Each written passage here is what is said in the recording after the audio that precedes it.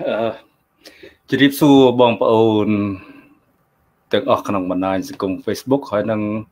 ក្នុង YouTube ទាំងអស់បាទហើយជម្រាបសួរបងប្អូនដែល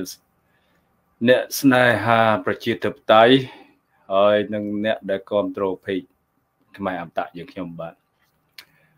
ហ្នឹងហើយភ័យខ្មែរអមតៈយើងខ្ញុំអ្នកគ្រប់គ្រងមកទៅដូចឃើញតែគ្នាខ្ញុំប្រហែលអ្នកណាទៅមានប្រហែលនេះប៉ុន្តែ ប៉ុន្តែអីបងប្អូនខ្ញុំមិនមិនបាក់ទឹកចិត្តទេខ្ញុំតស៊ូធ្វើឲ្យเพจនេះមានដំណើរការនិងឲ្យរីកចម្រើនលូនទៅលោកខ្ញុំធ្លាប់មានเพจមួយដំណើរការដែរប៉ុន្តែវាបានខូចឥឡូវយើងចាប់ផ្ដើមសារជាថ្មីមកវិញបាទហ្នឹងហើយមុននឹងយើងចាប់ផ្ដើមខ្ញុំសូមអរគុណបងប្អូនដែលចូលអឺចូលគ្រប់គ្រងយើងខ្ញុំដោយ ភ្ញៀវកិត្តិយសរបស់ខ្ញុំលើកទី1គឺឈ្មោះបូផានីខេនសូហ្វីកាយបាទសូហ្វីកាយធីតាឈឿនអរគុណក្រុមការងារខ្ញុំក៏ចូលមកគ្រប់គ្រងខ្ញុំបាទអរគុណដល់ដល់ក្រុមការងារទាំងពីរហើយនឹងស្រីលៀបឃឹមអេរិកឈូអឺអេរិកឈូគាត់គឺជាថៃខូនបាទគាត់ជាថៃខូននៅ ក្នុងសហរដ្ឋអាមេរិកនេះបាទ គាត់ជាជាអុកញ៉ាមួយបើនិយាយអុកញ៉ាក្រៅប្រទេសខុសពីអុកញ៉ានៅក្នុងប្រទេសអុកញ៉ាក្នុងប្រទេសគឺអុកញ៉ាលក់លក់ទឹកលក់ដីប្លន់ប្លន់ជាតិលក់ទ្រព្យសម្បត្តិជាតិបើអុកញ៉ានៅនៅក្រៅប្រទេសធ្វើការធ្វើការលហាមបាទធ្វើការលហាមដូចយើងដូចគ្នាដែរបាទហ្នឹងហើយបងអេរិកសុខសប្បាយហ្នឹងហើយអរគុណដែលបានជួលមើលពួកខ្ញុំបាទ ថ្ងៃថ្ងៃនេះខ្ញុំមានប្រធានបទ3ដែលចង់បកស្រាយទី1គឺខ្ញុំចង់និយាយពីបញ្ហាអឺពីម្សិលមិញម្សិលមិញខ្ញុំបាននិយាយបានបន្តិចបាទបានបន្តិចដល់ពេលមាន មានបញ្ហាទៅខ្ញុំក៏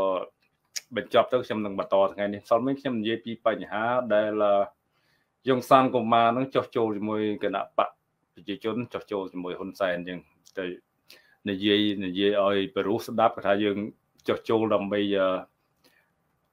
ដើម្បីទៅជួយដោះស្រាយបញ្ហាកសិកម្មបើយើងនិយាយក្រក់ស្ដាប់គេថាទៅធ្វើឆ្កែគេបាទធ្វើឆ្កែគេហ្នឹងហើយហើយប្រធានបទទី2ខ្ញុំចង់និយាយពីបញ្ហាថវិកាជាតិឆ្នាំ2023នេះបាទដែលរដ្ឋាភិបាលឯកបៈសភាឯកឯកបៈនឹងបានចុះហត្ថលេខាសម្រាប់ ប្រាក់ចំណាយឆ្នាំ2023ហ្នឹងឡើងដល់10,000លានដុល្លារបាទគឺច្រើនណាស់គឺច្រើនជាងឆ្នាំមុនមុនកាលឆ្នាំ2020អញ្ចឹងបងប្អូន2020ឬ21ដោយសារខ្វះថវិកាគឺគេបានបន្ថយបន្ថយប្រាក់ចំណាយប៉ុន្តែដល់ពេលចូលដល់ឆ្នាំ2023នេះគេតម្លើងប្រាក់ចំណាយវិញដែលគេអួតអាងថាសេដ្ឋកិច្ចកំពុងរីកចម្រើនបាទឥឡូវតិចតិចយើងនិយាយទៅ ហើយទី3ខ្ញុំចង់និយាយពីអឺបញ្ហាវឹកវរនៅក្នុងសង្គមកម្ពុជា គឺបញ្ហាចិនជួញដូរមនុស្សបញ្ហាចោលឆក់ចោលប្លន់ជួញដូរមនុស្សសពបែបយ៉ាងនៅក្នុងប្រទេសកម្ពុជាយើង គឺខ្ញុំនឹងមានវីដេអូមួយរបស់អឺលោកសខេងខ្ញុំហៅលោកសខេងយ៉ាងមិនហៅសម្ដេចទេព្រោះតាមមើលទៅគាត់បើតាម សុជីវធម៌ការដឹកនាំរបស់គណៈបព្វជិជនហ្នឹងលោកសខេងហ្នឹងគឺមានសុជីវធម៌គឺគាត់បើយើងយើងអាចទទួលស្គាល់បានបើសិនជាគាត់ដឹកនាំប្រទេសគឺគឺអាចមានការជជែកវែកគ្នាគ្នាបានព្រោះគាត់ដូចជាមនុស្សដែលថាសន្តិភាពបាទគាត់ជាមនុស្សសន្តិភាពគាត់ជាមនុស្សម្នាក់ដែលចង់បង្រួបបង្រួមជាតិមិនខុសពីហ៊ុនសែនបាទហ៊ុនសែនគឺឆ្កែកញ្ចេះយួនដាច់ថ្លៃហើយ ហ៊ុនសែនធ្វើអ្វីដើម្បីតែអំណាចតែប៉ុណ្ណឹងបាទអឺធីតាជួយចែករំលែកបន្តបងប្អូនបាទអរគុណធីតាអរគុណហ្នឹងហើយនឹងអរគុណរាជនីរាជនីសែមបាទអរគុណអរគុណបងប្អូនដែលចូលមកក្រោយហ្នឹងហ្នឹងការចុះចូលលោករបស់លោកសំយងសង្គមាបាទឈ្មោះឈ្មោះនេះវាពិបាកអាននេះឈ្មោះនេះខ្ញុំមិនដែលលើកតែ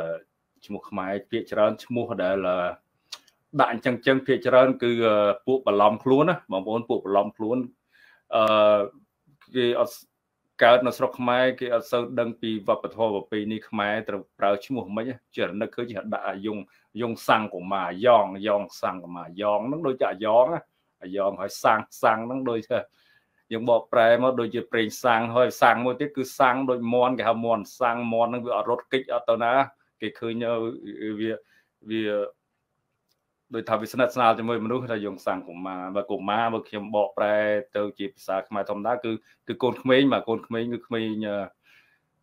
ក្មេងប្រុសអញ្ចឹងបងប្អូនក្មេងប្រុសអញ្ចឹងកុមារគេហៅក្មេងប្រុសកុមារាកុមារិចកុមារថាក្មេងអញ្ចឹងមិនមិនមិនបែងចែកថាជាក្មុះ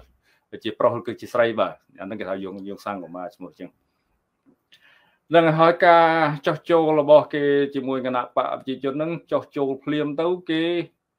អឺទទួលបានក្រុមងារភ្លាមបាទក្រុមងារភ្លាមដែលអឺសេចស្ដាច់យើងនឹងនរោត្តមសិហមនីនឹងបានតែងតាំងភ្លាមនៅក្រុមងារទេបងប្អូនខ្ញុំខ្ញុំរកឯកសារបន្តិចបាទបងប្អូនចាំផ្លេតក្រុមងារគេហៅស្អីអុយអ្នកស្អីទេ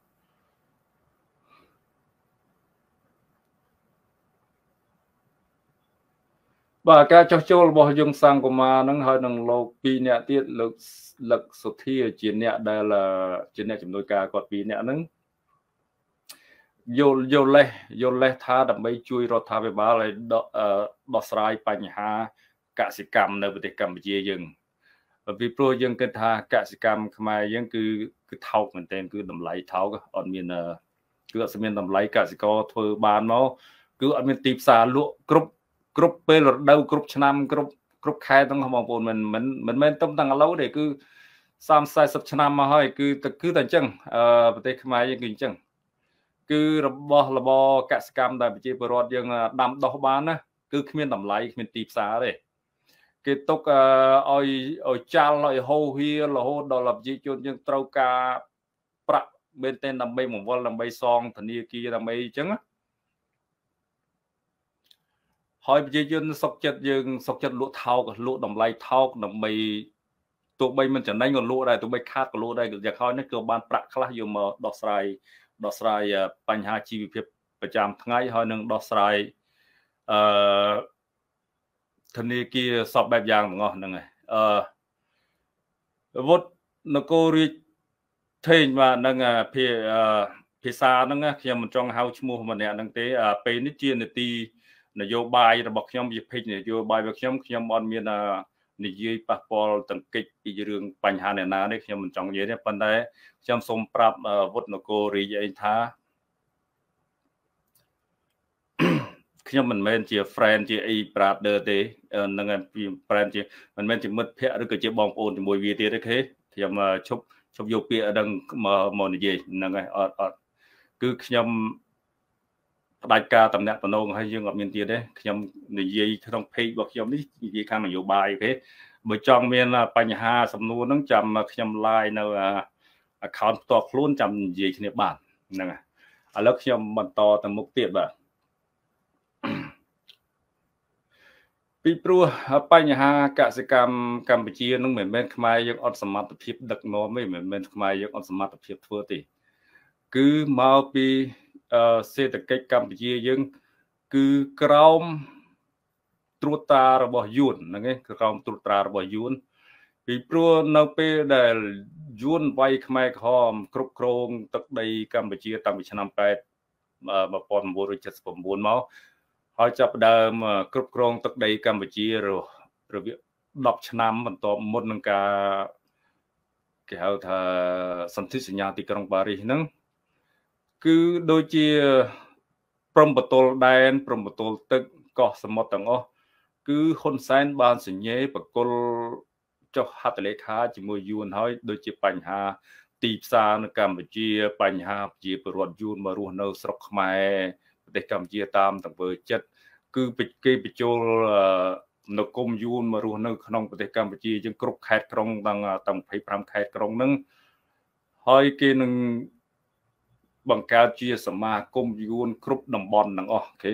គោលបំណងរបស់វាគឺវាគ្រប់គ្រងនៅប្រទេសកម្ពុជាយើងអញ្ចឹងពីព្រោះដោយសារតែហ៊ុនសែនគឺជាគឺជាខ្ញុំកញ្ជះគេអ្វីដែលគេលើកបន្តមកគេបញ្ជាឲ្យធ្វើតាមគេទាំងអស់ហ្នឹងហើយនគររាជអឺវុទ្ធនគររាជថេងបាទហ្នឹងហើយខ្ញុំមិនចង់អឺ អឺមីននៃអារម្មណ៍មីនខ្ញុំមិនចង់និយាយអាក្រក់ទេប៉ុន្តែយើងមិនមែនបងប្អូននេះណាកុំយល់ច្រឡំទៀតអូខេហ្នឹងហើយអត់មានបញ្ហាចឹងទេហ្នឹងចឹងចឹងហើយបានជាការដឹកនាំរបស់ហ៊ុនសែន30 40ឆ្នាំនេះទីផ្សារកម្ពុជាយើងវាខ្សោយវាអត់វាអត់មានទីផ្សារពីព្រោះគេ គេបិទសេដ្ឋកិច្ចទីផ្សាររបស់យើងអ្វីអ្វីដែលយើង បង្កបង្កើតផលបានរបស់បងប្អូនកសិករយើង គឺត្រូវកំណត់ដោយយួនទេយួនពួកយួនវាត្រូវកំណត់តម្លៃត្រូវទៅលក់ឲ្យវាយើងអត់មានទីផ្សារសេរីយើងអត់ចេញលក់បានទេហើយវាយកវាទិញពីផលិតផលរបស់ខ្មែរយើងនឹងថោកថោកហើយវាយកទៅបោះជាផលិតផលរបស់វាវាលក់ចេញមកក្រៅប្រទេស វាចំណេញពីព្រោះរបស់ផលិតផលរបស់ប្រទេសកម្ពុជាយើងគឺភាគច្រើនគឺគេភាសាអង់គ្លេសគេហៅ organic organic គឺរបស់គឺរបស់ល្អរបស់មិនសូវមានជាតិគីមីហើយដូចជាស្រូវអង្ករពោតសណ្ដែកអីទាំងអស់ហ្នឹងគឺជាគឺជារបស់ធម្មជាតិពិតពិតគឺរបស់មានគុណភាពល្អគឺញ៉ាំយកទៅប្រើប្រាស់មិនខូចគុណភាព វាទិញក្នុងតម្លៃថោកហើយវាបញ្ជូន របស់វាវិញមកលក់នៅក្នុងកម្ពុជាយើងហ្នឹងគឺសិតតែរបស់គីមីបាទរបស់គីមីរបស់ដាំដុះដោយដោយលះដោយថាបន្លែផ្លែឈើសពបែបយ៉ាងទាំងអស់ដែលនៅក្នុងដែលយកពីស្រុកយូមកលក់នៅក្នុងប្រទេសកម្ពុជាហ្នឹងគឺគេប្រើពេលវេលាដាំដុះវេលាហះដាំដុះវេលាហះចំណាយពេលតិចចំណាយធនធានតិចចំណាយអ្វីៗតិចទាំងអស់ប្រហែលវាមកលក់ក្នុងទីផ្សារកម្ពុជាយើងវាតម្លៃថោក ដល់ពេលវាតម្លៃថោកវាវាគ្រប់គ្រងលើផលិតផលរបស់កម្ពុជាយើងព្រោះរបស់របស់ខ្មែរយើងរបស់ប្រជាជនខ្មែរយើងដែលដាំដុះគឺដាំដុះដោយដោយធម្មជាតិដោយដោយជីអត់មានគួយគីមីទេយើងយើងចំណាយចំណាយជីចំណាយអីទៅខ្ពស់ដល់ពេលយើងយើងលក់ឡើងខ្ពស់យើងលក់អត់ដាច់យើងលក់អត់តាន់គេហើយជាមួយយ៉ាងវិញទៀតមកពីកម្ពុជាយើងវាអត់មានក្រសួងត្រួតពិនិត្យ ជាតិគីមីហ្នឹងឲ្យតែរបស់យួនយកមកលក់គឺចូលបានទាំងអស់អត់មានត្រួតពិនិត្យជាតិជាតិគីមីនឹងអាចមានកម្រិតប្រមាណប្រមាណធ្វើឲ្យខូចសុខភាពគឺអីគឺអត់មានទេដោយឧទាហរណ៍ប្រហែលថ្ងៃនេះបងប្អូនខ្ញុំឃើញនៅក្នុងប្រទេសកម្ពុជាយើងមាននៅតាមនៅតាមបណ្ដាញ Facebook ដោយក្មេងៗណា ក្មេងៗអាយុ4 10ឆ្នាំអាយុ5ឆ្នាំចាប់ផ្ដើមខូច kidney ខូចខូចកលៀនដោយសារមានរោគទឹកនោមផ្អែមអញ្ចឹងខ្លះរហូតដល់ស្លាប់អីគឺមកពីក្រសួងរដ្ឋាភិបាលខ្មែរយើងខាងគ្រប់គ្រងចំណីអាហារនឹងអត់មានការត្រួតពិនិត្យដោយបើកឲ្យលក់ភេសជ្ជៈរបស់យើងទៅភេសជ្ជៈបើកម្លាំងអាខារបាវអីអាជាតិភេសជ្ជៈរបែបបែបឆ្ងាញ់ហ្នឹងពីព្រោះខ្មែរយើងអត់ដឹងថារបស់ហ្នឹងគេធ្វើមកស្អីធ្វើស្អីខូចស្អីគឺ គឺគឺបងប្អូនយើងខ្វះចំណេះចេះដឹងរហូតរបស់ហ្នឹងគេឲ្យញ៉ាំតាកូនក្មេងក៏ញ៉ាំបានដែរបើសិនតែយើងនៅស្រុកក្រៅនេះកូនក្មេងគេមិនឲ្យញ៉ាំអាហ្នឹងទេអាហ្នឹងដូចវាអាចធ្វើឲ្យខូចសុខភាពយើងណាធ្វើឲ្យខូចសុខភាពក្មេង ដោយស្រុងនេះបញ្ហាជំងឺ kidney ជំងឺអីហ្នឹងវាប៉ះពាល់ទៅតាមមនុស្សចាស់ហើយគាត់មានជំងឺរោគទឹកនោមផ្អែមពីព្រោះគាត់ពីក្មេងរហូតដល់ចាស់ហើយប៉ុន្តែស្រុកខ្មែរខ្ញុំឃើញតាមបណ្ដាញសង្គម Facebook ដូចឃើញក្មេងៗស្លាប់ច្រើនដោយសារជំងឺខូចកលៀនហ្នឹងខូច kidney ហ្នឹងគឺដោយសារញ៉ាំអាទឹកអាទឹកភេសជ្ជៈហ្នឹងវាផ្អែមជាតិស្ករច្រើនពេកណាទៅឲ្យមានបញ្ហាជំងឺខូចគឺគឺស្លាប់ទាំងវ័យក្មេងបាទអាហ្នឹងហើយជាការ ខ្វះការត្រួតត្រាខ្វះការដឹកនាំពីរដ្ឋាភិបាលរដ្ឋាភិបាលខ្មែរយើងអត់ចេះមើលទទួលការខុសត្រូវពីពីរបស់ប្រជាជនបាទនឹងហើយយើងបកមកយកបកមកពីបញ្ហាយងសង្គមានេះចុះចូលវិញគឺអញ្ចឹងខ្ញុំចង់និយាយថាបញ្ហាសេដ្ឋកិច្ចបញ្ហាកសិកម្មកម្ពុជាយើងមិនមែនបញ្ហាខ្មែរយើងខ្វះអ្នកធនធានខ្វះអីដឹកនាំទេ គឺបញ្ហាទីផ្សាររបស់យើងត្រូវគេគ្របដណ្ដប់អញ្ចឹងដោយដោយឧទាហរណ៍ថាអឺលោកម្នាក់អីមុនមុននឹងតែងតាំងស្អីប្រធានកសិកម្មថ្មីវ័យក្មេងថ្មីនេះលោកម្នាក់ហ្នឹងឈ្មោះអីទៅស្អីវេងសុខុនហ្នឹងវេងសុខុនអញ្ចឹងដែលត្រូវហ៊ុនសែនដកចេញលោកម្នាក់ហ្នឹងមកពីគាត់ធ្វើការទៅគាត់មានឧត្តមគតិខ្មែរខ្លះគាត់បិទទីផ្សារជ្រូកយួនកុំឲ្យជ្រូកយួនចូលដើម្បីឲ្យទីផ្សារជ្រូក ជ្រូកខ្មែរយើងមានតម្លៃចេញលក់ឃើញដល់ពេលវាធ្វើខុសទីផ្សារទៅយួនប្រើអឺបញ្ជាហ៊ុនសែនឲ្យដកគាត់ចេញភ្លាមដកគាត់ចេញវើធ្វើខុសច្បាប់ព្រោះជ្រូកយួនចោលតាមតាមព្រំដែនយកចូលបានណាប្រយួនតាំងពីតាំងពីបន្លែបង្ការត្រីសាច់ទាំងអស់របស់យួនដែលយកមកលក់ស្រុកខ្មែរសន្តិជាតិគីមីអញ្ចឹងហើយបានប្រជាជនខ្មែរយើងរោគច្រើនណាស់យើងក្រហើយយើងក្រហើយខ្វះមន្ទីរពេទ្យខ្វះអីសពបែបយ៉ាងទាំងអស់ ហើយយើងញ៉ាំម្ហូបចំណីអាហាររបស់យើង គឺកក្រិចហើយគីមីច្រើនម្ល៉េះខ្មែរយើងអាយុអាយុ50មិនតាន់គឺចាស់គឺចាស់ហើយមានជំងឺប្រចាំកាយបណ្ដោយបាទហ្នឹងអរគុណទេថាវ័យសខុនមានជំងឺមានជំងឺប្រចាំកាយហ្នឹងបើនិយាយពីបញ្ហាសុខភាពខ្ញុំខ្ញុំមានរឿងមួយចង់ចង់លើកនិយាយតិចដូចថាមាន បងអូនស្រីម្នាក់អញ្ចឹងនៅនៅខេត្តកំពង់ស្ពឺនេះដែលគាត់បានវះកាត់យកកូនស្លាប់នៅក្នុងផ្ទៃចេញនៅក្នុងខេត្តហ្នឹងហើយគ្រូពេទ្យហ្នឹងច្រឡំវះកាត់ពោះវៀនវះកាត់ពោះវៀនមនុស្សបើខ្ញុំស្ដាប់មើលទៅមិនមែនជារឿងអស់សំណោចទេបងប្អូនប៉ុន្តែខ្ញុំអស់សំណោចមិនមែនអស់សំណោចនៅអឺចំពោះ អូនស្រីម្នាក់ហ្នឹងដែលមានការវះកាត់ខ្ញុំអស់សំណោចនឹងគ្រូពេទ្យស្រុកខ្មែរហ្នឹងបាទគ្រូពេទ្យស្រុកខ្មែរហ្នឹងនឹងជំនាញនឹងទៅរៀនសូត្រពីណាមកទេបាទអញ្ចឹងអាហ្នឹងហើយបញ្ហាដែលខ្ញុំចង់និយាយសង្ស័យទៅរៀននៅស្រុកយួនណាទៅរៀននៅស្រុកយួនវាវាអញ្ចឹងហើយព្រោះសិតតាគ្រូពេទ្យគ្មានវិជ្ជាជីវៈគ្រប់គ្រាន់គ្មានការបទពិសោធន៍គ្រប់គ្រាន់យកមកបើក clinic យកបើកមន្ទីរពេទ្យហើយមន្ទីរពេទ្យនឹងមានការ ត្រួតត្រាពីក្រសួងសុខាភិបាល មាន license មានអីត្រឹមត្រូវឬអត់មានមានអីត្រឹមត្រូវរត់បានជាបើកឲ្យមានការវះកាត់ហ្នឹងអឺអរិធីតាវីដេអូហ្នឹងបញ្ហាហ្នឹងខ្ញុំខនខនជាបត់ខ្លែមខ្ញុំយកបញ្ចូលបន្តិចក៏ពិតខ្ញុំមានប្រធានបត់ផ្សេងទៀតនឹងខ្ញុំដល់ពេលយើងនិយាយពីបញ្ហា សុខភាពបញ្ហាពេទ្យទៅខ្ញុំក៏នឹកឃើញរឿងហ្នឹងខ្ញុំក៏បន្ថែមរឿងហ្នឹងតិចទៅដើម្បីឲ្យបងប្អូនខ្មែរយើងយល់ថាអានេះបើបើវះកាត់ស្លាប់មនុស្សខ្ញុំចង់និយាយថាមនុស្សយើងទុកបីទុកបីយើងភ្លើយ៉ាងណាយើងមិនដែលបានរៀនពេទ្យយ៉ាងណាក៏យើងបែងចែកពីរឿងពោះវៀនហើយនឹងតងសុកហើយនឹងស្អីស្អីនឹងខ្ញុំខ្ញុំគេហៅស្អីទេបងប្អូនចាំមើលខ្ញុំខ្ញុំយកបន្តិច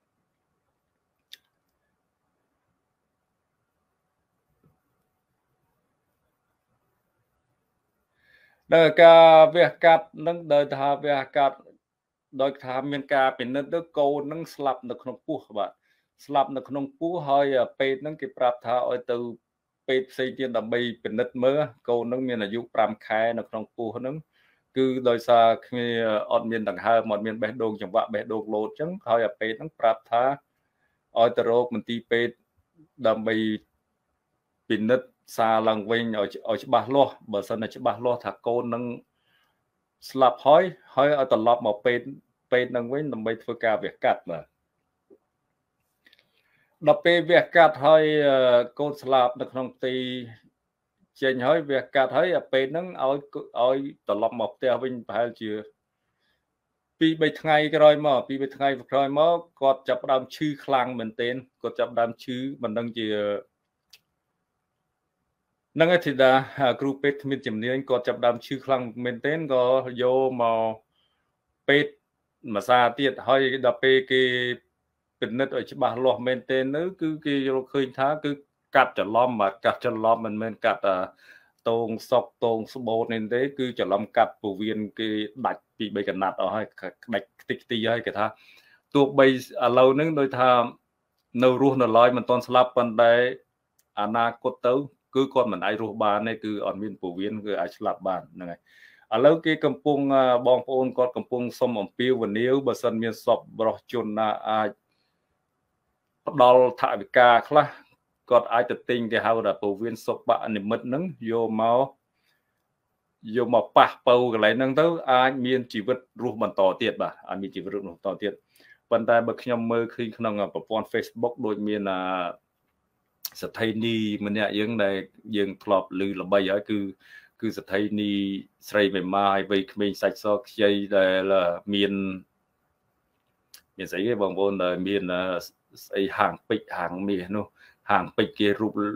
លក់រាប់រាប់គីឡូហ្នឹងបានផ្ដល់ថវិកាឲ្យហ្នឹងសង្ស័យថាអឺអាចអាចជួយសង្គ្រោះជីវិតបានហ្នឹងហើយបើខ្ញុំខ្ញុំអាចនិយាយថាជាការល្អដែល មានសពរស់ជនជួយអញ្ចឹងប៉ុន្តែបើយើងយើងមិនចង់និយាយពីបញ្ហាប្រវត្តិស្ថិនីនឹងបានប្រាក់ពីណាមកយើងអត់យើងអត់ចង់និយាយទេបាទហ្នឹងហើយអរគុណធីតាត្រីតាណាខ្ញុំមិនដឹងឈ្មោះហ្នឹងដែរបើខ្ញុំមិនចង់និយាយឈ្មោះហ្នឹងបាទអឺខ្ញុំចង់និយាយថាទោះយ៉ាងណាក៏ដោយក៏គេមានចិត្តសប្បុរសជួយខ្លះដែរយើងមិនបើរឿងពីបញ្ហាជីវិតរស់ស៊ីរបស់សេដ្ឋីរីហ្នឹងយើង យើងទុកយើងទុកម្ដុំសិនបាទយើងទុកម្ដុំសិនយើងដឹងប្រវត្តិហើយរឿងហ្នឹងបាទដឹងហើយបញ្ហារឿងសុខភាពហ្នឹងខ្ញុំចង់និយាយចឹងហើយចឹងបានថាហុកហ៊ុនសែនដឹកនាំ40ឆ្នាំមកនេះគឺគឺគ្រប់វិស័យដឹងថាគឺអន់បំផុតជាពិសេសមន្ទីរសុខាភិបាលក្រសួងសុខាភិបាលយើងគិតថាក្នុងប្រទេសដែលប្រជាធិបតេយ្យបងប្អូនអឺមនុស្សដែលសំខាន់បំផុតក្នុង ក្នុងប្រទេសមួយហ្នឹងទី1គឺគ្រូបង្រៀនទី2គ្រូពេទ្យអឺមនុស្សពីរប្រភេទហ្នឹងគឺសំខាន់ណាស់ពីព្រោះជាអ្នកគ្រូបង្រៀនជាអ្នកបណ្ដុះបណ្ដាលប្រជាជនបណ្ដុះបណ្ដាលសិស្សឲ្យមានចំណេះចេះដឹងជំនាញការវឹកហាត់អឺបានល្អហើយអឺគ្រូពេទ្យបាទគ្រូពេទ្យគឺជីវិតបងប្អូនជីវិតប្រជាជនទាំងអស់គឺផ្ញើនៅលើដៃគ្រូពេទ្យហើយប៉ុន្តែបើដល់ពេលគ្រូពេទ្យមកកាត់វះកាត់ គេច្រឡំពោះវៀនអញ្ចឹងមិនមិនងាប់អស់ហើយបងប្អូនថាណាជឿទុកចិត្តបានណាហ៊ានយកមកបន្ទីពេទ្យទៀតអញ្ចឹងមិនថាឥឡូវឥឡូវស្រុកខ្មែរមន្ទីរពេទ្យស្រុកខ្មែរក្រមការដឹកនាំហ៊ុនសែនហ្នឹងកាន់តែស្អុយឡើងស្អុយឡើងបងប្អូនអញ្ចឹងហើយមកប្រជាជនខ្មែរយើងបើសិនជាអ្នកមានអ្នកមានគេទៅថៃបាទអ្នកលបងគេទៅស្រុកយួនអញ្ចឹងមិនថាប្អូនស្រីម្នាក់នេះគ្នាទៅមន្ទីរពេទ្យស្រុកខ្មែរហ្នឹងប្រហែលមកជាគ្នាខ្វះខាតមែនទេធនធានរបស់គ្នាគឺ គឺក្រណាស់គាត់ដូចជាអឺកម្មកររោងចក្រហ្នឹងហើយបងប្អូនប្រហែលកម្មកររោងចក្រគឺត្រឹមត្រូវមែនចំពោះចំណាត់ការទទួលខុសត្រូវវិញបើនៅស្រុកគេគឺថាជាប់គុកមួយជីវិតអាហ្នឹងគឺថាជាបទឃាតកម្មមួយជាជាបទបនប៉ុនផងឃាតកម្មហើយឃាតកម្មស្លាប់ហ្នឹងណាពីព្រោះយើងហត់មន្ទីរពេទ្យនិងអ្នកគ្រប់គ្រងនឹងគឺជាប់មានទោសទាំងអស់ពីព្រោះមុនយើងបើកមន្ទីរពេទ្យនីមួយនីមួយហើយ ហើយ clinic តូចតាចយើងយើងគ្មានសិទ្ធិវះកាត់គេទេនៅនៅនៅក្នុងប្រទេសប្រជាធិបតេយ្យប្រទេសដែលគេរីកចម្រើននេះអឺ clinic តូចតាចហ្នឹងគ្រាន់តែបណ្ឌិតសុខភាពឈឺធម្មតាទេបើសិនជាមានដល់ថ្នាក់វះកាត់អញ្ចឹងគឺគេត្រូវបញ្ជូនទៅទៅមន្ទីរពេទ្យធំមន្ទីរពេទ្យដែលមានឯកទេសដែលមានជំនាញច្បាស់លាស់គ្រប់គ្រាន់គេគេពិភាក្សាហើយគេធ្វើការវះកាត់ហើយនៅមុនការវះកាត់គេមាន គ្រូគ្រូគ្រូពេទ្យជំគ្រូពេទ្យជំនាញអ្នកវះកាត់ផ្ទាល់ហើយនឹងគ្រូពេទ្យដែលដែលសិក្សាគេអាចនិយាយថាដោយអ្នករៀនពេទ្យហ្នឹងតម្រុំរៀនពេទ្យជាប់បានសញ្ញាបត្រហើយគេមិនណែឲ្យមកវះកាត់ភ្លាមទេគេឲ្យគេឲ្យតាមមើលគេឲ្យរៀនមើលអ្នកអ្នកជំនាញវះកាត់នឹងគេឲ្យឈោហុចកត្រៃហុចឲ្យជួយគេរហូតដល់ពេលយើងស៊ំយើងមើលឃើញរងថ្ងៃយើងចេះដឹងមើលតាក្នុងខ្លួនប្រានមនុស្សនឹង មានស្អីទាំងអស់អីកន្លែងណាបែងចែកស្គាល់ទាំងអស់បានយើងមានបទពិសោធន៍ខ្ពស់បានគេបណ្ដោយឲ្យយើងទទួលការវះកាត់ត្រឹមត្រូវអញ្ចឹងមិនថាការរៀនជាជា doctor doctor វះកាត់ពេទ្យវះកាត់ពេទ្យជំនាញនេះមិនមែនធម្មតាបងប្អូនគឺគឺគឺមនុស្សប្រើចំណាយពេលវេលាយូរណាស់ហើយស្រុកគេនេះប្រើចំណាយពេលវេលាយូរហើយប្រើថវិកាច្រើនដើម្បីរៀនសូត្រតម្រាំដល់ថ្នាក់ វិជ្ជបណ្ឌិតវគ្គកម្មហ្នឹងគឺមិនងាយហើយក្រសួងគេផ្ដល់អាជ្ញាប័ណ្ណឲ្យបើសិនជាមានកំហុសអញ្ចឹងអឺក្រសួងគេនឹងដកអាជ្ញាប័ណ្ណចេញហើយម្នាក់នឹងចូលគុកទៀតចូលគុកទៀតនៅស្រុកគេនៅនៅស្រុកគេបើសិននៅវះកាត់ខុសអញ្ចឹងបើសិនជាការវះកាត់នៅជំងឺដូចជាវះកាត់បេះដូងអីគាត់ស្ថានភាពគាត់ខ្សោយអីបើគេមិនធានា100%អានឹងដល់វះកាត់បេះដូងទៅគាត់អាចស្លាប់ដោយសារជំងឺគាត់ខ្សោយអត់ អត់អត់ពាក់ព័ន្ធនឹងបច្ចេកទេសវះកាត់គេអានឹងគ្រូពេទ្យគេគ្មានទោសទេបើសិនបើគ្រូពេទ្យនឹងគ្មានជំនាញទៅវះកាត់គេមានការគេមានតឡាការពេទ្យមានការស៊ើបអង្កេតមើលទៅដឹងថាគ្រូពេទ្យគ្មានជំនាញវះកាត់ខុសខុសបច្ចេកទេសអញ្ចឹងគឺគឺជាប់គុកបាទមិនត្រឹមតែជាប់គុកអាគ្រូពេទ្យហ្នឹងជាប់គុកកអ្នកត្រួតក្រសួងអ្នកក្រសួងអឺជាប់តាំងអាអាមេពេទ្យហ្នឹងគេថាអ្នកគ្រប់គ្រងចាងវាងហ្នឹងអ្នកដែល អនុញ្ញាតឲ្យពេទ្យមកវះកាត់គេទៀតគឺថាពាក់ព័ន្ធច្រើនណាស់ពាក់ព័ន្ធធំណាស់ហ្នឹងបើបើនៅស្រុកគេហើយរដ្ឋាភិបាលគឺគឺត្រូវចេញលុយសងគេទាំងអស់បាទសងគេសងជំងឺចិត្តអ្វីអ្វីដែលគេទៀមទាប្រមាណខ្ញុំជឿថាសងគេច្រើនមែនទេបាទធីតានៅខ្មែរយកមករបបពេទ្យធ្វើជាជំនាញបាទហ្នឹងហើយអឺសូហ្វីនាងនឹងដូចជាបានតែ1000ទេវ៉ាអឺ កាត់ដាច់ពវៀនប៉ុណ្្នឹងហើយបាន1000សំថាអឺខ្ញុំជឿថា1000ហ្នឹងមិនមែនជាលុយរដ្ឋាភិបាលសង1000ហ្នឹងគឺលុយជំនួយពីគេមកគេជួយដើម្បីដើម្បីគេទិញអាពវៀនសពនិមិត្តនឹងមកមកព្យាបាលដើម្បីគ្នាមានជីវិតបន្តទៀតបាទនឹងខ្ញុំខ្ញុំយល់អញ្ចឹងខ្ញុំយល់ចឹងចឹងបានថាយើងយើងមិនបាច់និយាយដល់ថាវះកាត់តែយើងបញ្ហានិយាយដល់រហូតដល់ក្មេងស្លាប់នៅក្នុងពោះទៀតគឺ គឺខ្វះការត្រួតពិនិត្យខ្វះការព្យាបាលមែនទែនបងប្អូនបើសិនយើងប្រទេសយើងនៅសហរដ្ឋអាមេរិកមនុស្សស្រីដែលតងន់គេត្រូវការថែរក្សាគោគេគេបញ្ជូនឲ្យគេឲ្យយើងទៅពិនិត្យរៀងរាល់មួយខែម្ដងឬក៏3ខែម្ដងគេតាមដានសុខភាពម្ដាយសុខភាពកូនគេបំពន់មកបំពន់អីហ្នឹងគឺបើមិនសិនមានរឿងអីគេដឹងមុនណាគេមិនបណ្ដោយឲ្យកូនស្លាប់នៅក្នុងពោះយើងគឺ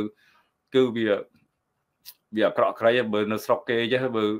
កុំថាឡើយវះកាត់ខុសជំនាញសំបីតែកូនស្លាប់នៅក្នុងពោះបើគេតាមដានបណ្ឌិតមើលដឹង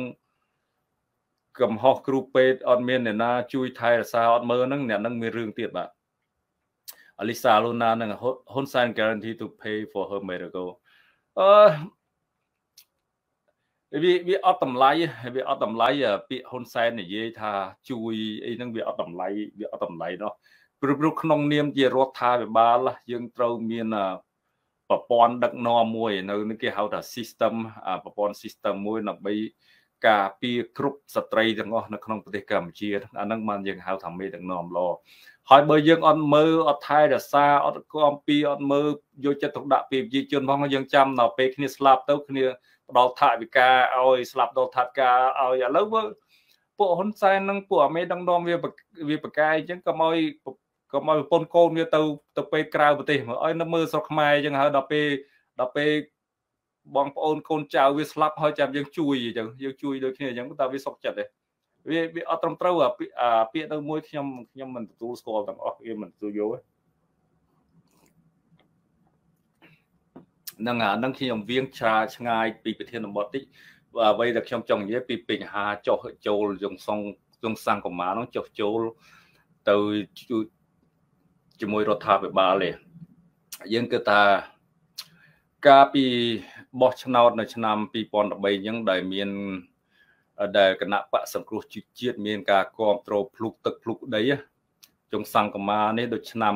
2015តាមខ្ញុំចាំមិនច្បាស់បងប្អូនណាចាំចាស់ជួយប្រាប់មកមកបើគណៈបកមូលដ្ឋានហ្នឹងគឺកម្រងការគេមកពីហ៊ុនសែនដឹងថាដឹងថាគណៈបកសង្គ្រោះជាតិ នឹងមានសម្លេងគ្រប់គ្រងខ្លាំងមែនទែនលហើយអានេះជាល្បិចកលអ្វីដែលខ្ញុំមើលឃើញណាលហើយជាល្បិចកលរបស់គេគេធ្វើឲ្យបបង្កើតគណៈបក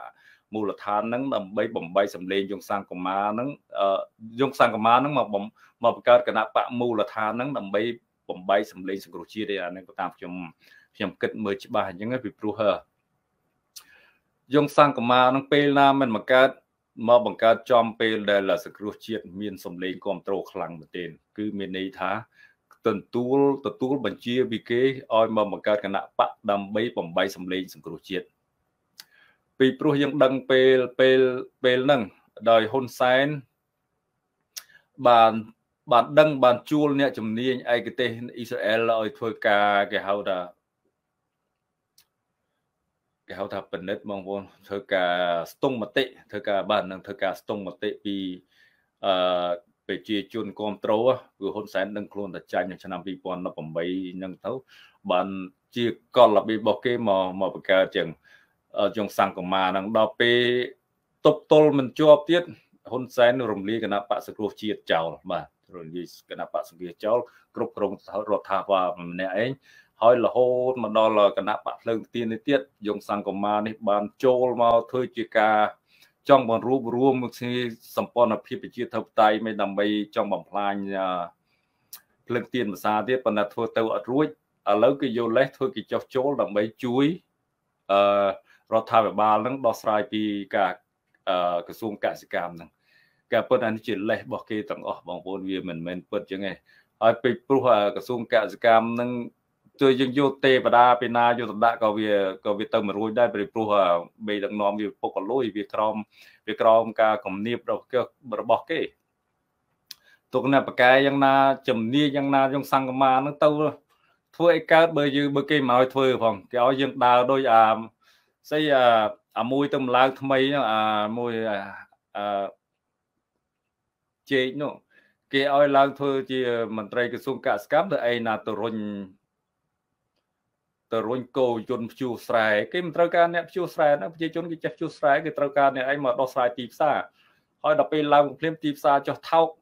អង្គស្រូវអង្គចុះថោកមកបន្ទោសប្រជាជនណែណាឲ្យដាំស្រូវមកពីប្រមូលផលតណាលគ្នាពេកបានជាស្រូវចុះថោកវាទៅឆ្កុយយើងម្ល៉េះហើយអាមន្ត្រីរបស់ហ៊ុនសែនទាំងអស់នេះ ណាអាណាមួយឡើងមកក៏តប៉ែដោយតែគ្នាអញ្ចឹងគឺវាអត់មានទទួលស្គាល់ទទួលកំហុសថាវាអត់បានការទេគឺវាវាចោតលើតែប្រជាជនកសិករយើងរហូតវាចោតថាកសិករយើងគឺគឺល្ងងអត់ដឹងទីផ្សារទៀតហើយឥឡូវរហូតមកដល់ពេលនេះទៀតវាវាប្រកាសក្នុងប្រព័ន្ធ Facebook ថាវាមិនអោយប្រជាជនយើង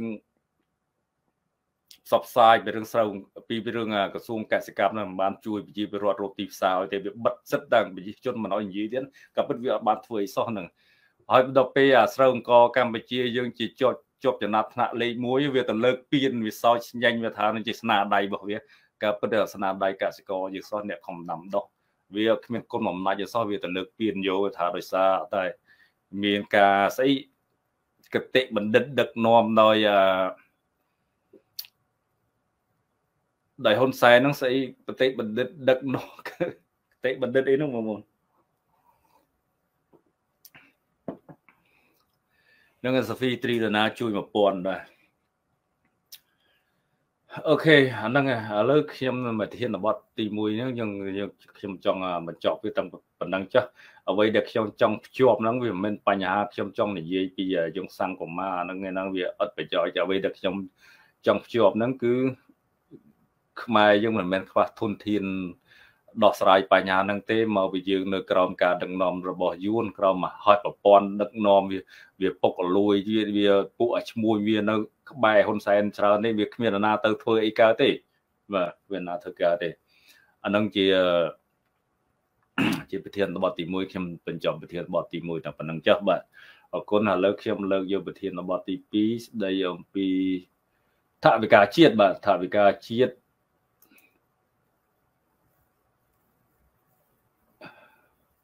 គេកំណត់ដល់10 10,000លានដុល្លារក្នុងឆ្នាំ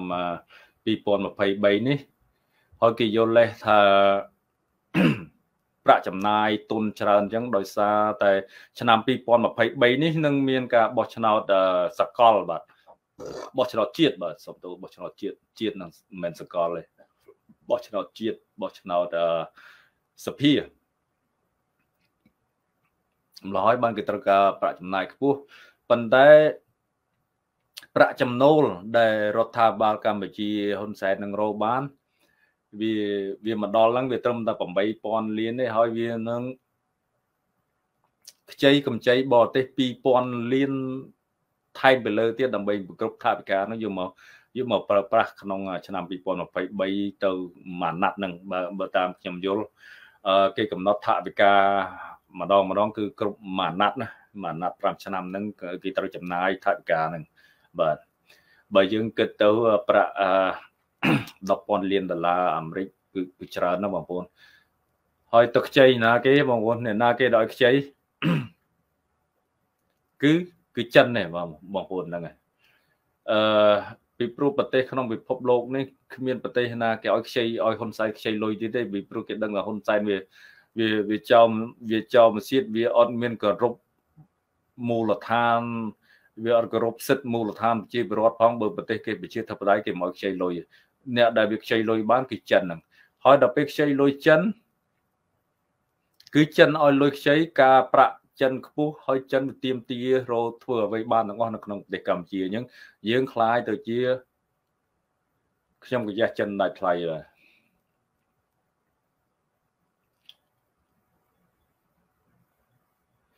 នឹងអធិបការជាតិឆ្នាំ2023ទឹកប្រាក់ជិត10,000លានដុល្លារកើនឡើង13%ប្រៀបធៀបនឹងថវិកាឆ្នាំ2022ដែលមានទឹកប្រាក់8000លានដុល្លារ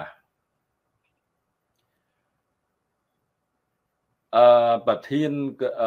មន្ត្រីរដ្ឋមន្ត្រីក្រសួងហេរញ្ញវត្ថុនិងក្រសួងសេដ្ឋកិច្ចហ្នឹងឈ្មោះអូនពាន់មនីរតហ្នឹង ថាវិការ10,000លានដុល្លារនេះគេធ្វើសម្រាប់ការរៀបចំបោះឆ្នោតឆ្នាំ2023ហ្នឹងហើយនឹងការប្រកួតកីឡាស៊ីហ្គេមដែល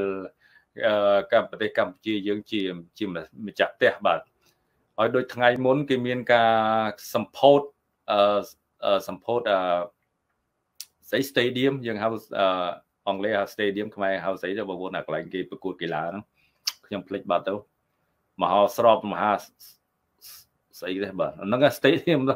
យាយ stadium គាត់គេពីព្រោះ stadium ហ្នឹងគឺចិនជួយដែរចិនសង់ឲ្យហើយចំណាយប្រាក់ជាប់ជិត1000លានដុល្លារដែរបើតាមខ្ញុំហ្នឹង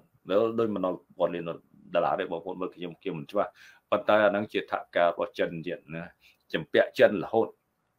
អ្វីអ្វីយើងខ្ចីលុយចិនរហូតដើម្បីមកសាងសង់នៅស្រុកខ្មែរហ្នឹងឯធីតានៅខ្មែរគ្មានពេលជំនាញទេមានតែពេលជំនួញ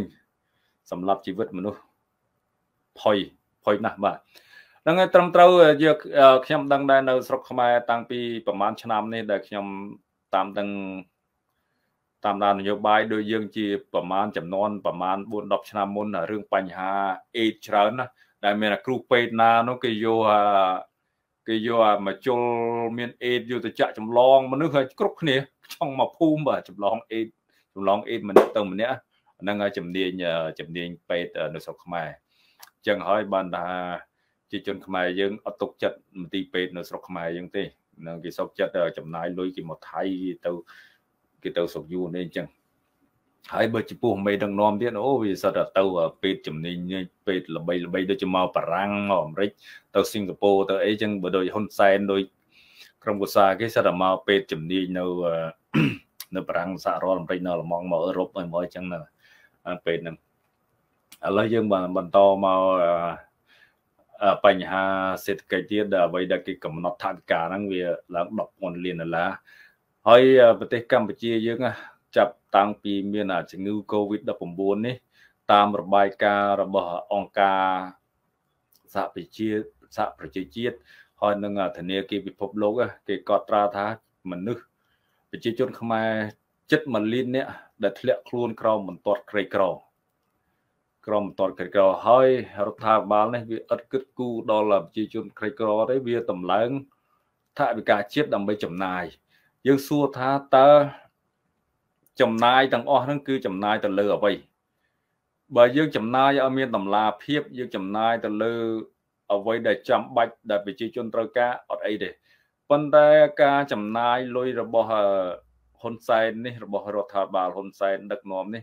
គឺភាគច្រើនពុកលួយបាទផាត់ផាយបណ្ដុលចិត្តបាទផាត់ជ័យមន្ត្រីសួស្ដីបាទសួស្ដី good evening ដែលបានជួយមើលខ្ញុំអរគុណបងអរគុណជួយជួយ like share ផង page របស់ខ្ញុំនេះគឺគឺកំសត់ណាស់ណាសើមានអ្នកមើលម៉ាស់នេះបាទប៉ុន្តែមកអីយើងដើម្បីតស៊ូដើម្បីប្រទេសជាតិយើងយើងខំខំទៅដើម្បីខ្លាចថ្ងៃណាមួយយើងនឹងនឹងបានសម្រេចអ្វីអ្វីក៏ដោយយើង ស៊ីសងការព្យាយាមណាហ្នឹងហើយអ្វីយើងធ្វើតាំងពីទូចមកមុនយើងមិនអាចយើងមិនអាចធ្វើធំមុនទេដោយអាដោយអាហ៊ុនម៉ាណែតវាកើតមកគ្មានជំនាញគ្មានបទពិសោធន៍អីដោយសារវាកើតក្នុងអឺវាជាកូនមេផ្ដាច់ការម្ល៉េះដល់ពេលវាចេញមកវាធ្វើធំម្ល៉េះដល់ពេលវាធ្វើធំចឹងវាគ្មានជំនាញទេវាគ្រាន់តែយកយកអំណាចនឹងទៅបញ្ជាគេទៅប្រើគេឲ្យស្ដាប់តាមវាវាគ្មានជំនាញវាគ្មានអីដឹកនាំឲ្យឲ្យប្រទេសជាតិរីកចម្រើនគឺអត់មានទេបាទ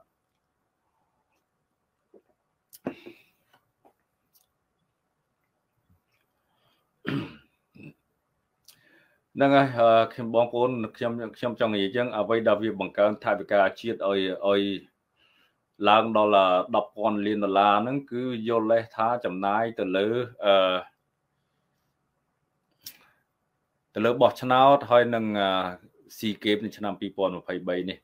ការពិតបើតាមការ វិភាគរបស់អ្នកវិភាគរបស់អ្នកស្រាវជ្រាវឃើញរដ្ឋាភិបាលខ្មែរយើងគេហៅថារដ្ឋាភិបាលធំគេថាខ្លួនទូចក្បាលធំដោយថាយើងដោយថាប្រទេសគេយើងខ្ញុំឧទាហរណ៍ចេះដោយថានៅសហរដ្ឋអាមេរិកចឹងអឺ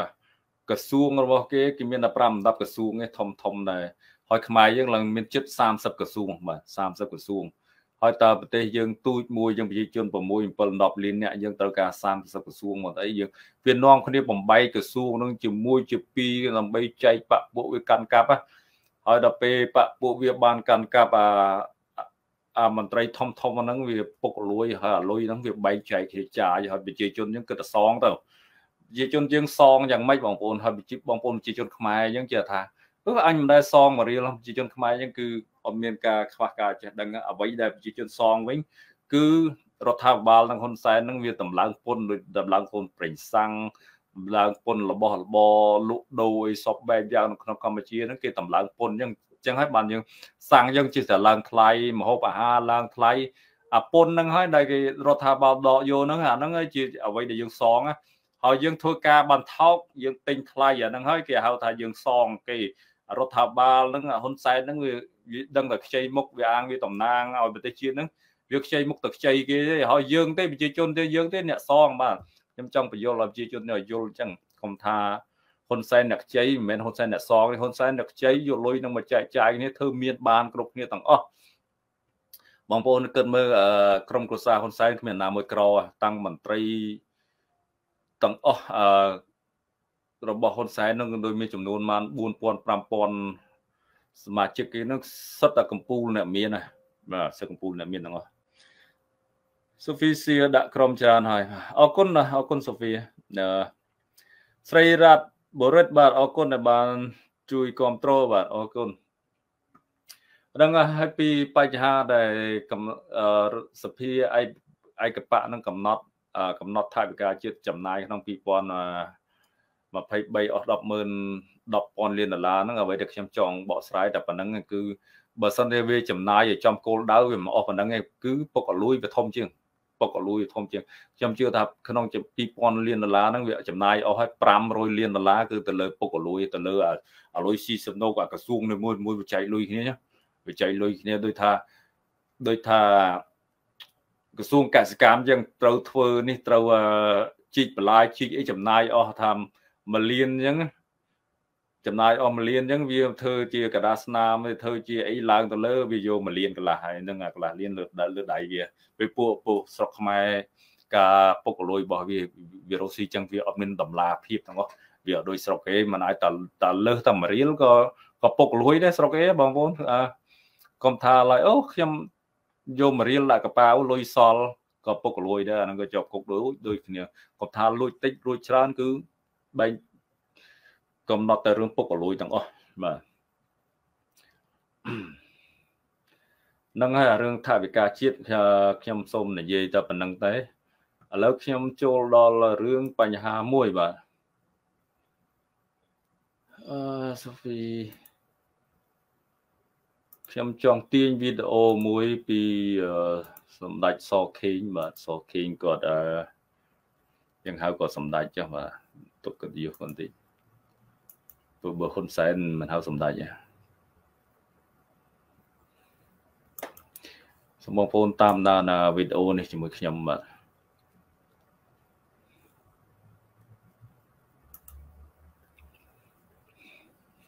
គេតោះវីដេអូនេះប្រហែលមានរយៈពេល8នាទីបងប្អូនស្ដាប់ឲ្យចប់តាមយើងពិគ្រោះជាមួយគ្នាបាទធីតាសូហ្វីបាទចូលយោបល់បាន អត់លឺសំឡេងអឺ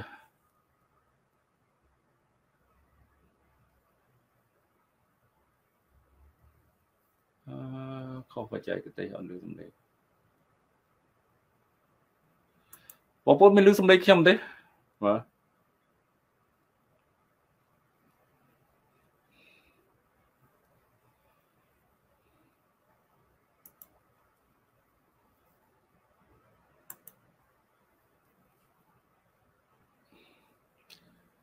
អឺខ្ញុំសូមបណ្ឌិតបច្ចេកទេសតិចបាទ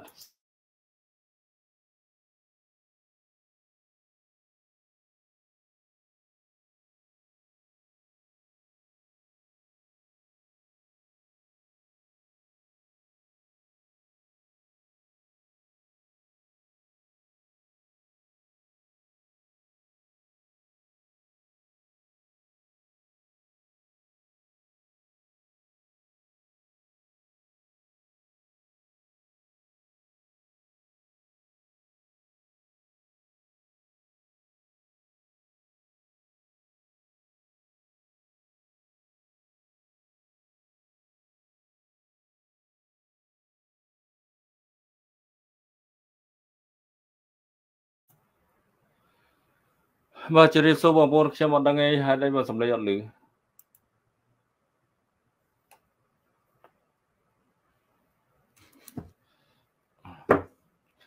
អូនៅនេះភ្លេចបិទបើកសម្លេងបងប្អូននៅអសថ្មី បាទសុំទោសហ្នឹងប្រពន្ធមានតោងចង់កាច់សបុកឮទេបងប្អូនឮទេដើម្បីទទួលបានព័ត៌មានទាន់ហេតុការណ៍សូមចូលទៅកាន់ App Store ឬ Play Store រួចស្វែងរកប្រយោល News ចុច download ជាការស្រេច ឥឡូវពាក្យមិនដឹងបាទខ្ញុំទទួលបានឮទេបងប្អូនឮសំឡេងសខេងចូលមក Facebook របស់ខ្ញុំចូលមក Facebook អរបាទអរគុណចូលមក Facebook ចូលមក Facebook របស់គេអន្តរវេសគឺមកដល់ពេលនេះ600ជាង600ជាងអង្គនេះពលសាប់យើងក៏មួយចំនួនធំដែរមួយចំនួនធំបូកពីមុនមិនសូវមានប៉ុន្មានទេព្រោះបែកសបុកពីកំពង់សោមកមកវាវែងទេ មកថ្មដានេះបាទហើយខ្ញុំគាត់នៅបើកវងចោលនេះថាថ្មដាយើងគឺយើងត្រូវសម្អាតសមាធិលើកុំទុកឲ្យវាកាច់សបុកកាច់សបុកប្រកបដោយអង្គើខុសច្បាប់ណាកុំឲ្យកាច់កាច់សបុកគឺពិបាកកំពុងសោមចង់កាច់សបុកចង់ឲ្យកាច់ទៅហើយថ្ងៃណាក៏ថ្ងៃចាប់សម្លាប់គ្នា ហើយខ្ញុំបានលើកឡើងថាកំពង់សោមរដ្ឋាភិបាលវិនិយោគសម្បំណារាប់ពាន់លានដុល្លារទាំងវិនិយោគក្នុងផងវិនិយោគក្រៅផងរដ្ឋាភិបាលផងផ្នែកឯកជនផងតែពីផុតទីផុតមកវាទៅជាកន្លែងយកក្រតកម្មទៅវិញជួយដូរមនុស្សទៅវិញយើងសោកស្ដាយណាស់រឿងនេះតែទាំងអស់គ្នាត្រូវមើលឃើញអនាគតបើមិនចឹងទេគឺ ហើយមិនមែនតែដំណើរធ្វើទេគឺធ្វើទាំងអស់ Good evening guys ហ្នឹងជម្រាបសួរបងសេងរតនាដាលេអុយមានអីការវិនិយោគអីបាទ Hi ជម្រាបសួរ Good evening ហ្នឹងអរគុណដែលបានជួយគ្រប់គ្រងមើលក៏លឿនពេកមានងងថាវាដួលដោយសារដោយសារមើល live show របស់ខ្ញុំបាទសូមយកអញ្ចឹងទៅទីពិតទៅកាប់ទៅដួលយើងសោកស្ដាយហើយស្លាប់នឹងយើងសោកស្ដាយហើយប៉ុន្តែវារឿងអញ្ចឹងវាមានបញ្ហាអានេះ ជាពិសោធន៍ទេជាពិសោធន៍ទេមិនទាន់ថាអឺពិសោធន៍នេះមិនគ្រប់ជ្រុងជ្រោយទេព្រោះយើងនឹងបន្តធ្វើទៀតប៉ុន្តែចង់និយាយថារំលឹកដល់ពូសាស្ត្ររបស់យើងថ្មដានេះកុំឲ្យកុំឲ្យវាហៅថាកម្មភាពខុសច្បាប់នៅកន្លែងហ្នឹងវាកើតមានកាន់តែរីកធំទៅណាកាន់រីកធំទៅដំបូងឡើយ រត់ពីកំពង់សោមប្រហែលអ្នកមកបណ្ដឹងទៅបានបញ្ជូនមកដល់បញ្ជូនមកទៅគឺថាមានកន្លែងមួយនោះមិនឲ្យចូលហើយក្រោយមកអាដាមនាងដំនៃនេះស្វឿនក៏បញ្ជាទៅបានយកចេញទៅយកចេញប៉ុន្តែយើងសមត្ថភាពខ្ញុំទទួលស្គាល់ប៉ុណ្ណឹងយើងត្រូវកសាងសមត្ថភាពមន្ត្រីយើងច្រើនណាស់បាទមករណាសុខេមានតែតំណែងតែអត់អំណាចបាទត្រឹមត្រូវបាទត្រឹមត្រូវអឺ តាំងពីដើមឆ្នាំ2022ម្លេះខ្ញុំបានទទួលព័ត៌មានមួយពីខាងក្នុងមកអូខេចប់ហើយបងប្អូនមានមានតែប៉ុណ្្នឹងទេមានគម្រោងយកមនុស្ស3នាក់អឺទៅសែនតំណែងនាយករដ្ឋមន្ត្រីរបស់កូនប្រុសគាត់ជប់ជប់ជប់លឺណាចេញពីណាមកបាទបាទបងប្អូនអឺ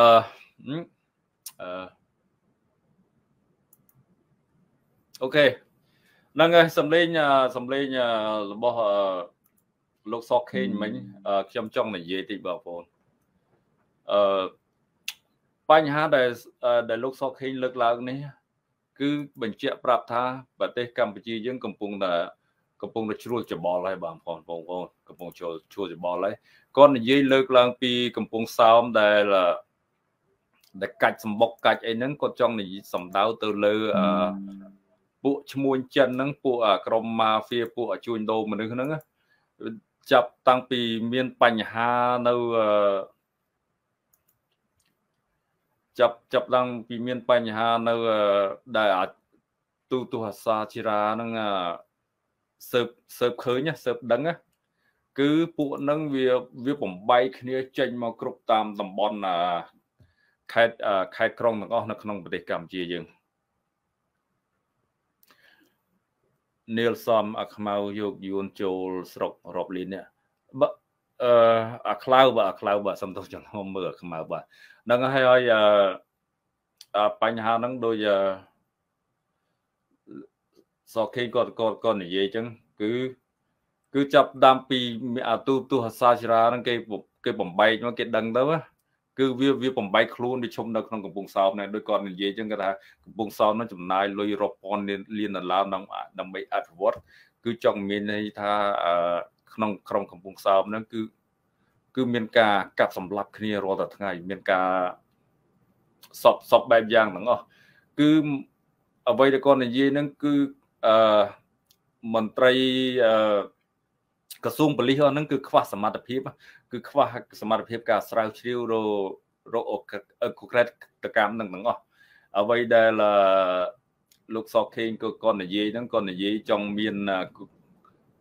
គោលដៅ2បាទគោលដៅ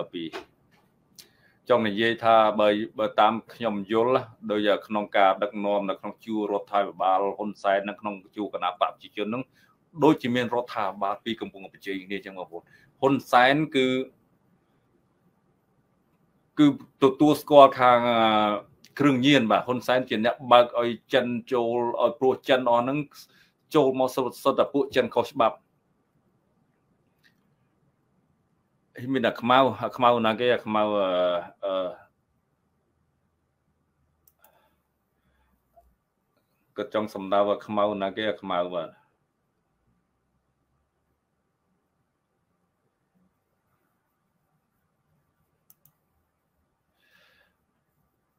អឺផ្កាស្គាល់មាសបាទជម្រាបសួរបាទជម្រាបសួរ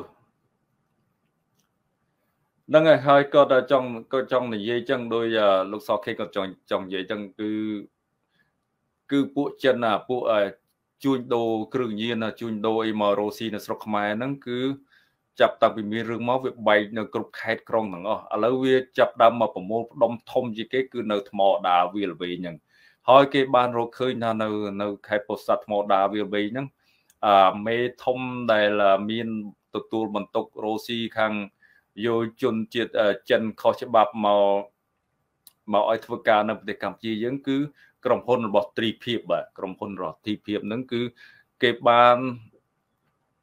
តាមដានថតសម្លេង មានសម្លេងគេវាយធ្វើបាបកម្មករហ្នឹងគឺមានសម្លេងចេញមកហើយគឺមានបញ្ចូលមនុស្សផ្លែកផ្លែកច្រើនរស់យប់ ដោយថាពួកពួកចិនអស់ហ្នឹងការឆ្លងដែនរបស់ជនជាតិចិនហ្នឹងមកប្រទេសកម្ពុជាយើង គឺពួកវាសិតតែឆ្លងដែនខុសច្បាប់ គឺវាអត់មាន passport អត់មានអីត្រឹមត្រូវទេសិតតែវាលួចចូលមកក្នុងប្រទេសកម្ពុជាយើងដោយតាមតាមផ្លូវទឹកតាមអីស្ងាត់ស្ងាត់អញ្ចឹងពីព្រោះរដ្ឋាភិបាលហ៊ុនសែននឹងវាវាពុកកលួយពេកពុកកលួយពេកពួកអ្នកយាមព្រមទល់នឹងវាអត់មានការហាមឃាត់អីច្បាស់លាស់គឺពួកនឹងឲ្យយប់ឡើងជោគឡើងដូចតែប្រហែលខែមុនបងប្អូនមានលឺ ដល់ដឹងថាមានទូកចិនមួយដែលលិចនៅកំពង់សោមហ្នឹងហ្នឹងគឺអាទូកអាទូកចិនអស់ហ្នឹងហើយគឺជាពួកអរដ្ឋពន្ធមនុស្សខុសច្បាប់ហ្នឹងពីព្រោះអាចិនដែលគេចាប់យកមកធ្វើការនេះវាកំពុងតែវាមិនមែនចិនដែលរត់មកមានប៉ាសពតមកឆ្លងដែនត្រឹមត្រូវទេគឺពួកចិនហ្នឹងពួកសិទ្ធិពួកចិនក្រីក្រដែលចាញ់បោកដែលចាញ់បោកពួកចិនគ្នាវាថាយកនាំមកធ្វើការនៅនៅស្រុកខ្មែរអញ្ចឹងណា ហ្នឹងហើយពួកចិនហ្នឹងគឺគឺសិតតែគេចាប់បង្ខំមកដល់ពេលមកគេបង្ខំឲ្យធ្វើការខុសច្បាប់ឲ្យឲ្យបោកបញ្ឆោតមនុស្សដើម្បីរលុយឲ្យក្រុមហ៊ុនវាអញ្ចឹង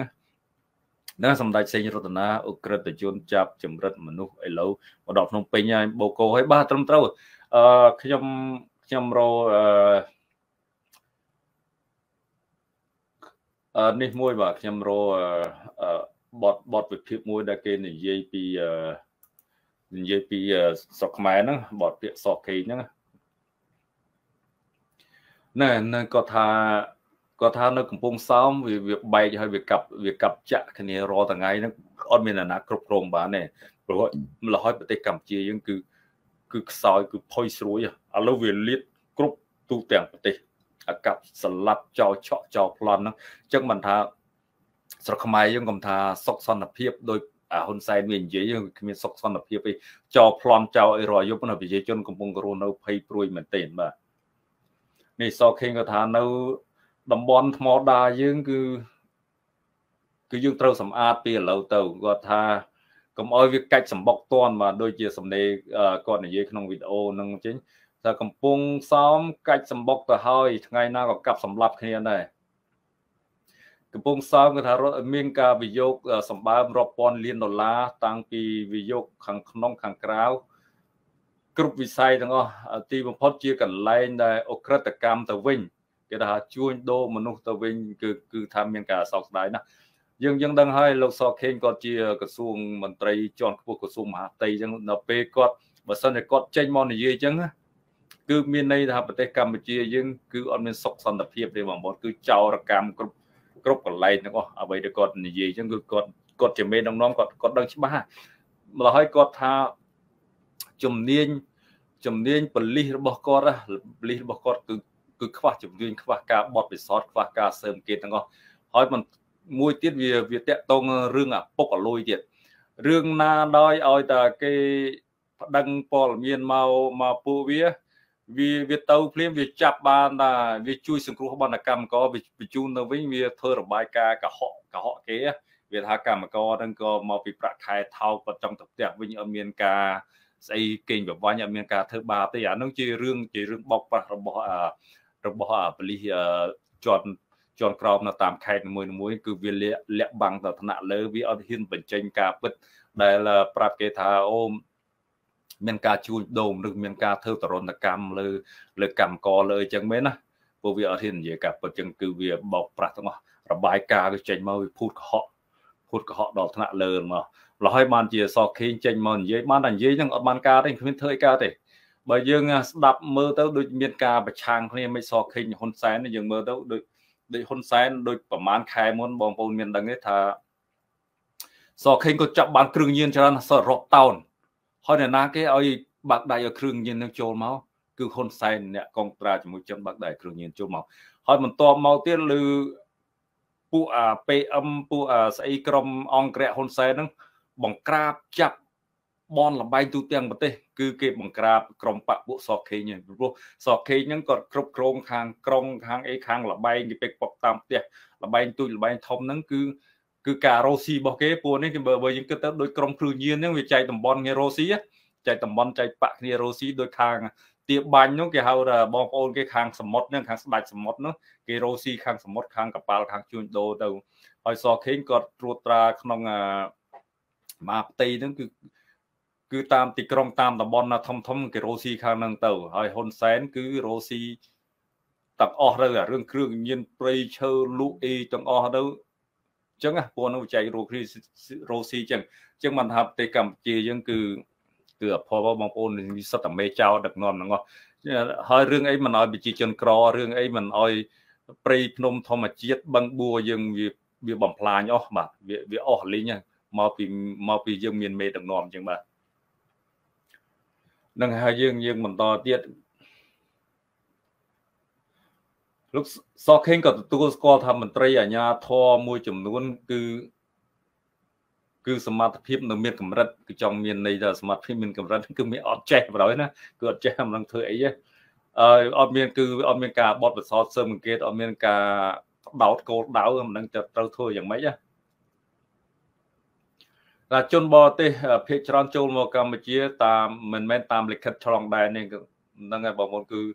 គឺតាមហើយក៏មិនមែនមានបានការងារដែរគឺពួកគេបានបោកមកឆោតឆោបោកឲ្យឲ្យមកធ្វើការអនឡាញខុសច្បាប់អីចឹងទៅ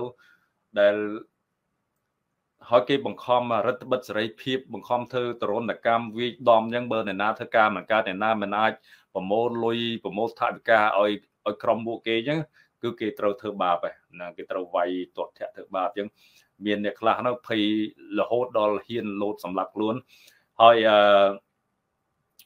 គេមានសំណង់សន្តាគារមួយ របស់ទ្រីភិបហ្នឹងនៅនៅថ្មដានៅនៅពោលស័តនៅវាលវែងហ្នឹងគឺគេឃើញនាំចូលមនុស្សចម្លែកច្រើនហើយមានសម្លេងស្រែកចេញពីក្នុងតំបន់ហ្នឹងបើអត់មានណាហ៊ានទៅត្រួតពិនិត្យទៅទៅអីនៅក្នុងទៅត្រួតពិនិត្យទៅឆែកឆេនៅក្នុង ក្នុងសន្តាគាររបស់ត្រីភិបហ្នឹងទេព្រោះត្រីភិបហ្នឹងយើងដឹងហើយថាត្រីភិបហ្នឹងនេះត្រីភិបហ្នឹងមានអាគារសហគ្រាសសម្រាប់ជួលជនជាតិចិនហ្នឹងដើម្បីចាប់ចរិតមនុស្សធ្វើទរណកម្មស្ថិតនៅតំបន់សេដ្ឋកិច្ចពិសេសខេត្តពោធិ៍សាត់ពលរដ្ឋនៅតំបន់អាហាងថាពួកគាត់ធ្លាប់ឮសំឡេងចាប់បញ្ជូនមនុស្សចូលបរិវេណអាគារត្រីភិបហ្នឹងនឹងមានសំឡេងសំស្រែកធ្វើទរណកម្មទៀតបាទបងប្អូនអូខេ អឺអានឹងអានឹងហើយជាជាការពិត បាទនឹងជាការពិត អ្វីដែលដែលលោកសខេងគាត់គាត់បញ្ចេញមកហ្នឹងគាត់បញ្ចេញមកដើម្បីគាត់បរឹងក្រមប៉ូលីសរបស់គាត់ហ្នឹងឲ្យ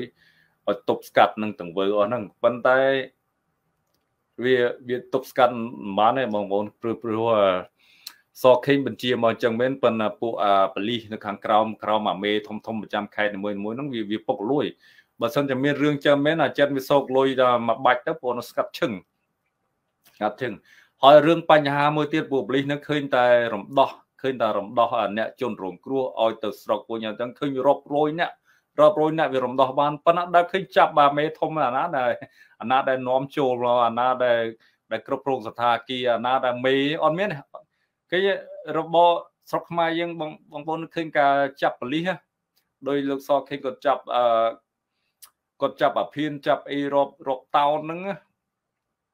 អត់ដែលឃើញចាប់អាមេបានទេឃើញចាប់បានតែរបស់អាភៀនហ្នឹងហើយអាភៀនអាគ្រឿងអីហ្នឹងមិនដឹងយុទ្ធនាហើយនឹងពួកអាកម្មករកពេកកពុក4 5នាក់តែប៉ុណ្្នឹងឯងប៉ុន្តែមិនដឹងអាណាអ្នកបង្កើតហើយអាណាអ្នកឲ្យច្បាប់បង្កើតអឺអស់ហ្នឹងអត់មានចាប់ទេដោយសន្តាគារទ្រីភិបហ្នឹងបើចាប់សង្គ្រោះមនុស្សបានពីក្នុងសន្តាគារហ្នឹងអាម្ចាស់សន្តាគារហ្នឹងបើកឲ្យមើល អត់អត់ដែលឃើញចាប់អាម្ចាស់សន្តាគារហ្នឹងអត់មានដែលឃើញបិទទ្វារបិទអីយកយកហ្នឹងមកសួរដេញដោលអត់មានទាំងអស់ឃើញតែដោះលេងដោះលេងដោះលេងជួយសង្គ្រោះជនរងគ្រោះរាប់រយនាក់ជនជាតិចិនម្នេះជនជាតិខ្មែរជនជាតិឥណ្ឌូស៊ីទៅម្នេះប៉ុន្តែអាមេខ្លោងជនអក្រិតពិតប្រកបអត់ដែលចាប់បានទេរឿងហ្នឹងមួយបងប្អូនមានការសង្ស័យសង្ស័យហ្នឹងហើយអាហ្នឹងហើយបានគេហៅថាប្រទេសប្រទេសពុកលួយហើយសខេងអ្វីដែលសខេងធ្វើហ្នឹងគឺ ដើម្បីខំបិទបាំងខំប្រាប់អន្តរជាតិថាគាត់ខំធ្វើការទេពីព្រោះគឺគាត់ចង់គាត់មិនចង់ឲ្យប្រទេសកម្ពុជាជាងគេដាក់ក្នុងបញ្ជីខ្មៅលុបលាងលុយកខ្វក់ហ្នឹងឥឡូវយើងខ្លាយលុយលុយប្រផេះហើយលុយប្រផេះហើយបើហ្នឹងសកខេធ្វើជាងដើម្បីដើម្បីលុបបំបាំងបំបាំងភ្នែកអន្តរជាតិទេការពិតរឿងអំពើពុករលួយនៅក្នុងប្រទេសកម្ពុជាយើងហ្នឹងគឺដោះស្រាយមិនរួចទេ មានតែមួយគត់បងប្អូនដោះស្រាយបានគឺគឺយើងត្រូវផ្លាស់ប្ដូរបាទយើងត្រូវផ្លាស់ប្ដូរអាមេដឹកនាំហ្នឹងមិនទៅរួចបើយើងមិនផ្លាស់ប្ដូរទេគឺគឺអត់ទេអត់កើតទេគឺប្រទេសជាតិយើងក្រលហាមយើងវេទនាតាំងពីយើងចាស់រហូតដល់កូនចៅយើងចំនួនក្រោយទៀតអញ្ចឹងបាទខ្ញុំចង់ផ្ដាំដល់បងប្អូនប្រជាជនប្រដ្ឋខ្មែរយើងក្នុងប្រទេសកម្ពុជាអឺឆ្នាំ2023នេះមកដល់ហើយបងប្អូនយើងមានគណៈបកមួយដែលជា ចំហរឹងមាំរបស់យើងយើងព្រួតគ្នា យើងការពារយើងដើម្បីផ្លាស់ប្ដូរទាំងអស់គ្នាបាទផ្លាស់ប្ដូរទាំងអស់គ្នាហ្នឹងហើយបងប្អូនខ្ញុំ